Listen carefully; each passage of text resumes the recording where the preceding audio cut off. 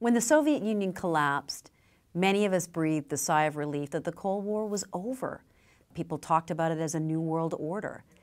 It was, in many ways, a golden age for international cooperation. But the Cold War is not over. We also see Western militaries preparing again for a potential military standoff in Europe, something we thought we would never see again.